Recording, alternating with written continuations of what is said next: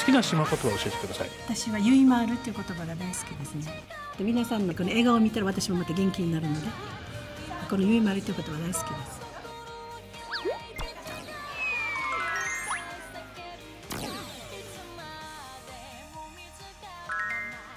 はいたい。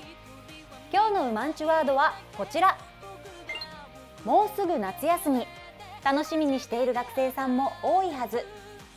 しかしその裏で多くの誘惑や危険が潜んでいるんです。窃盗や傷害などによる少年犯罪。検挙数は減少しているのですが再び犯行に及ぶ再犯者率や数人で共謀する共犯率が沖縄県は全国でも極めて高い状況です。また中学生が占める犯行の割合も全国平均と比べて高く特に夏休み期間中は深夜徘徊などによる少年の補導件数が増えています。そこで県では毎年7月から8月にかけて青少年の深夜徘徊防止未成年者飲酒防止県民一斉行動を行っています。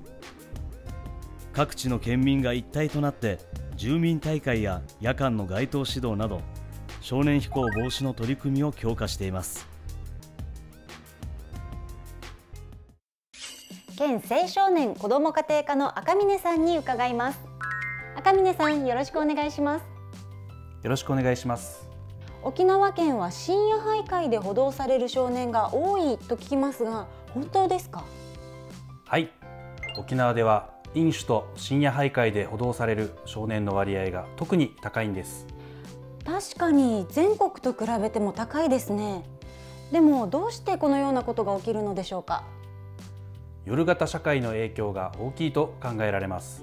スーパーに居酒屋カラオケなど深夜に子供連れの家族をよく見かけますがこうした光景は沖縄特有と言われているんです。なるほど。夜型の生活が少年犯罪の入り口につながるわけですね。そうです。例えば夜遊びが原因で遅刻欠席を繰り返すと授業についていけず学校がつまらなくなり家庭や学校以外に居場所を求めてまた夜遊びを繰り返すようになります。そして深夜徘徊への罪悪感が薄れ飲酒や喫煙などの不良行為につながりさらには窃盗など犯罪行為にエスカレートする恐れがあります。うんそれは悪循環ですね。少年たちの深夜徘徊を防ぐために私たちにできることはありますか？はいまず私たち大人が少年たちに目を向けることです。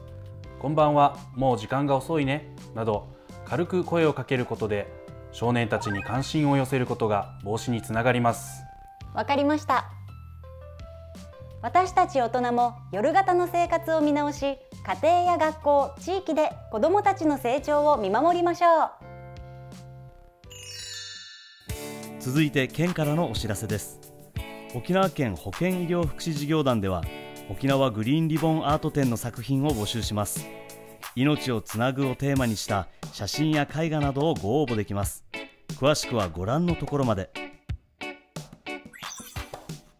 県では平成28年度県営住宅空き家町入居者募集を実施します。募集のしおり配布期間及び申し込み受付期間などはご覧の通りです。詳しくはご覧のところまで。7月は県産品奨励月間です。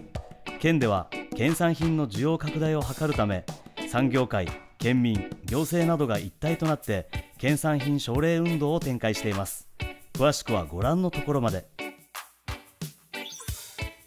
その他のお知らせはご覧の通りです。